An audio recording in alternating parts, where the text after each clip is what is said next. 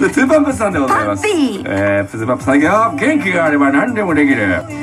奇跡の一枚。千年に一度の美少女橋本環奈さん。うーんかんなちゃん。あったことあったっけあります。同じよくライブとかねへーさせていただいたこともありますよ。ご当地アイドルのステージを撮影した一枚の写真が拡散。それがテレビで取り上げられたことから橋本環奈さんがブレイクした。そうだあようんあまり知られていないことですが群馬県でも奇跡の一枚一枚があります。へえあーちゃんが所属する赤木団とうん。コロトンが一緒に写っている動画を私が撮影して YouTube にアップしました。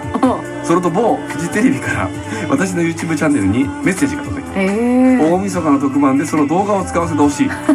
私は YouTube チャンネルでは一切収益化をしていませんので無償で提供しました。うん。素敵当時の私は本名で YouTube に動画をアップしていたので撮影者の名前も匿名にする条件で使用を OK しました。うん。さてその年の大晦日 NHK の「紅白歌合戦」で安室さんのステージが放送されている裏で私が撮影した赤木団の動画が全国ネットで放送された おそらく赤木団のファンもメンバーもスタッフもこの奇跡のことは知らないと思います。